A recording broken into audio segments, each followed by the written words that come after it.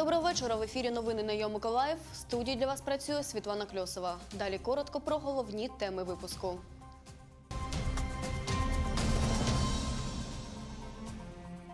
Чоловіку, якого підозрюють у потрійному вбивстві, обрали запобіжний захід. Миколаєві завершився тиждень протидії булінгу.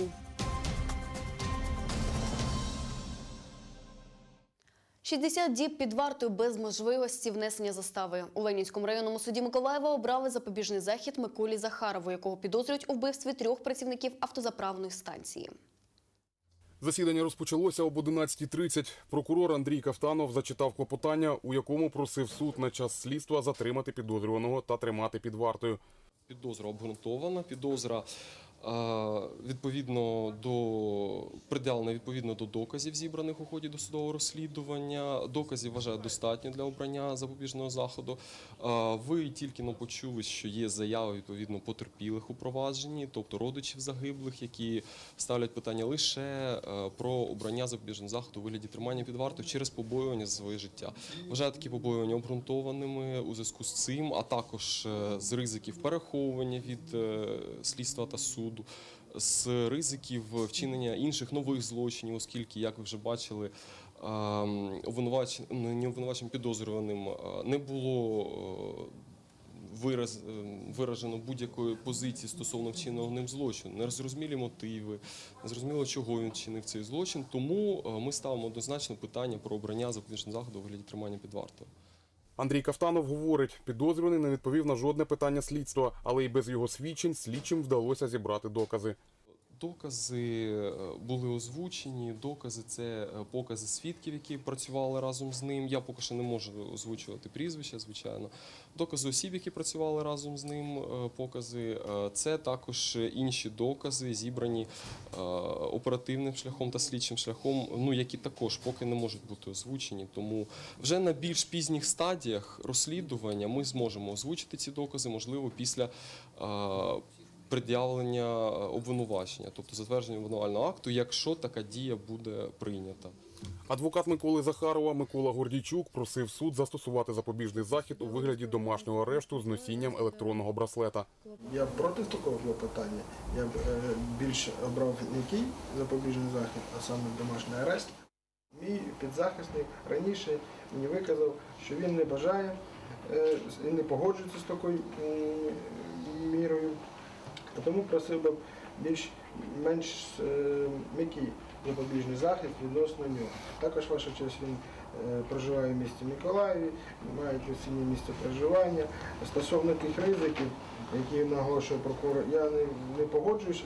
Ем, Я думаю, що е, прокурор не довів нам всім, чим саме Захаров може погрожувати, наприклад, потерпілим. Підозрюваний Микола Захаров коментувати події, які сталися 18 вересня на автозаправній станції, відмовився. Вислухавши адвоката та прокурора, суддя Надія Румянцева оголосила перерву та пішла до нарадчої кімнати. 30 хвилин.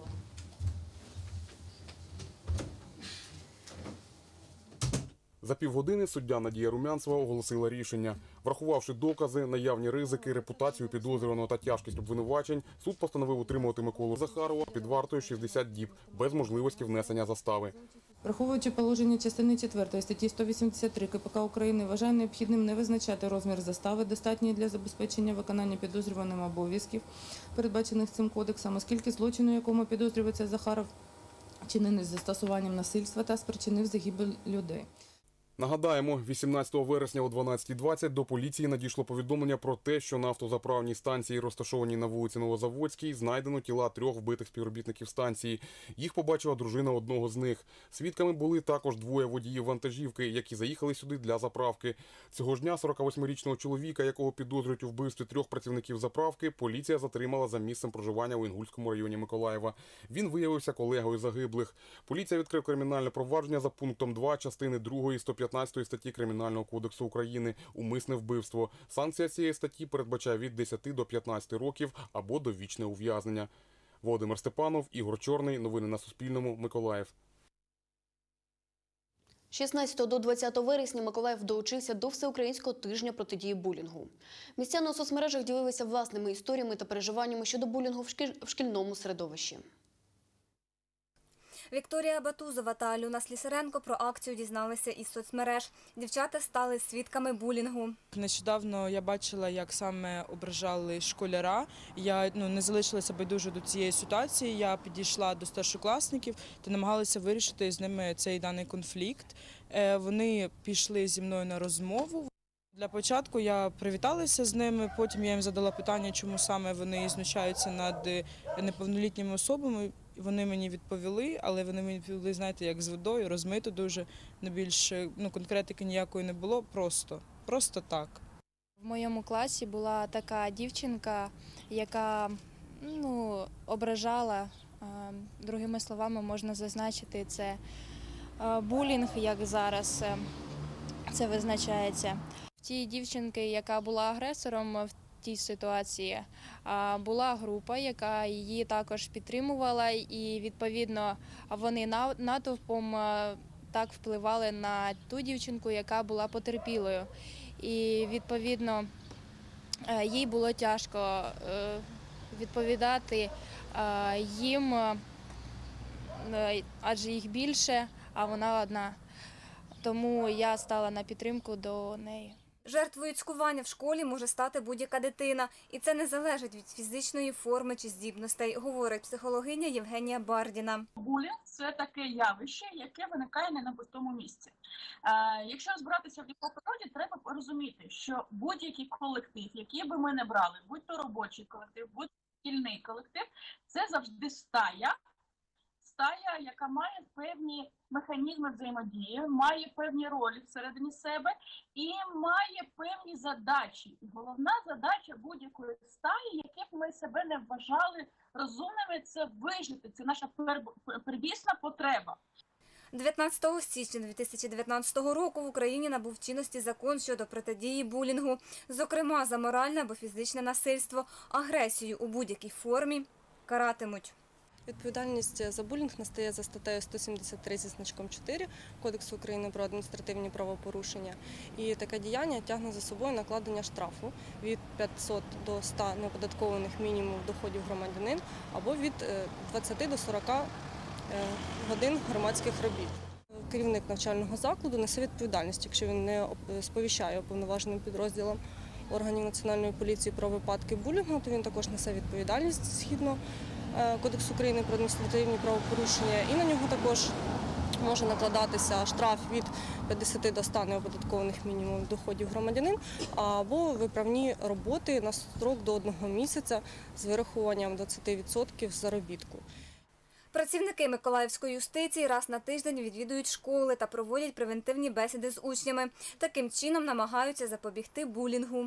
Булінг це не нове, воно було навіть е, тоді, коли я ще навчалася в школі. Але законодавчо це було визначено да, поняття булінг, що це таке, які є від, види булінгу, яка є відповідальність, і що робити, які є механізми реагування, що треба робити як вчителям, батькам, так і самим дітям нашим, якщо таке явище є. Вражає статистика, на жаль, яка нам говорить про те, що е, кожна четверта дитина й- потрапляє е, да, в такі стосунки. 80% у нас дітей є чи жертва, чи спостерігач е, да, цього явища. Якщо над дитиною знущаються, батьки мають бути уважнішими, ставитись до цього серйозно. В таких випадках неприпустимо радити дитині просто дати здачі, говорить психологиня Євгенія Бардіна. Дитина має поспілкуватися зі своїми батьками, і батьки мають звернутися до керівництва школи. Я зараз не про закон кажу, тому що в закону можливо є інші механізми. Але е, дивіться, в якому е, в якій ситуації дитина готова терпіти знущання від е, старшої людини. По-перше, коли вона має таке ставлення від батьків. А по-друге, є таке розуміння, як, як референція, тобто де в дитини знаходиться точка прийняття рішення. І е, зовнішньо референтна дитина це дитина, яка всього слухається, е, заглядає в рота вчителю, вважає його безумовним авторитетом і так далі. Це дуже гарна дитина, дуже зручна дитина. Але е, не дивлячись на те, що вона слухняна, вона часто і стає жертвою булінгу, бо вона не може відстоювати свої межі. На сьогоднішній день жодної скарги щодо булінгу в Миколаєві не зареєстровано, говорить Ірина Фірсова, перша заступниця начальника головного територіального управління юстиції. Ніна Булах, Євгеній Сержук. Новини на Суспільному. Миколаїв. Сьогодні Миколаїв долучився до міжнародного форуму Трансекспо Одеса Миколаїв 2019. В рамках заходу відбулася суднобудівна виставка та введення в експлуатацію 140-метрового самохідного крану, побудованого компанією Нібулон. Презентований сьогодні плавкран це повнокомплектне самохідне перевантажувальне судно. Має два вантажні трюми місткістю 13 тисяч 400 кубометрів, два повноповоротні вантажні крани, довжина судна 140 метрів, 28 метрів завширшки, дедвейт 8,5 тисяч тонн. Є тут золоті люди, які я хочу назвати. Це от Авраменко Лариса Вікторовна, яка практично начальник відділу, начальник відділу, який займався фарбою, фарбував це судно. В період будівництва судна 50 гектар фарбовано площі.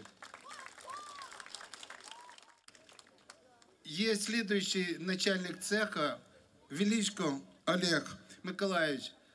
В нього бригада електриків, які проклали 150 кілометрів кабеля. Це рівна відстань між Одесою і Миколаєвом. Олексій Вадатурський сказав, що у сьогоднішньому заході взяли участь 64 представники європейських фінансових структур, які співпрацюють з підприємствами України. Учасники форуму взяли участь в закладці двох нових суден портового буксиру штовхача та несамохідного судна майданчика. У виставці взяли участь представники вітчизняних та закордонних підприємств і закладів суднобудівної галузі та водного транспорту. Серед зразків продукції катер на повітряній подушці, суднове обладнання і засоби для підготовки професійних моряків. Федір Бондар, Василь Філімон. Новини на Суспільному. Миколаїв. –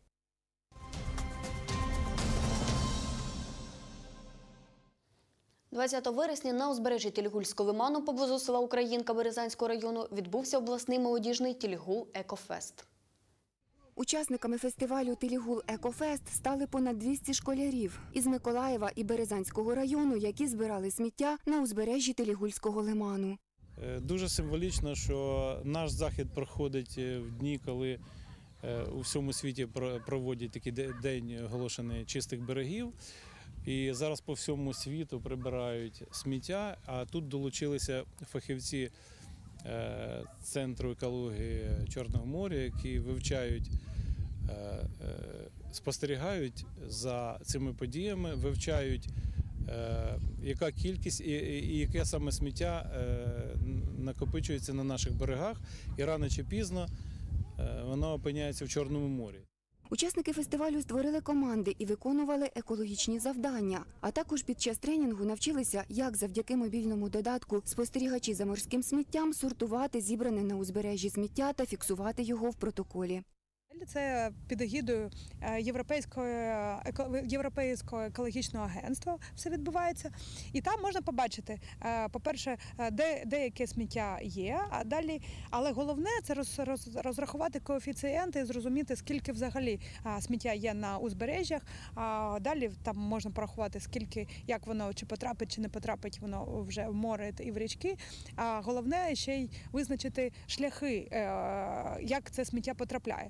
Через завдяки цьому додатку, власне, Європейський Союз і визначив 10 е, основних е, одноразових е, предметів, які шкодять довкіллю, які вже з 2021 року будуть заборонені.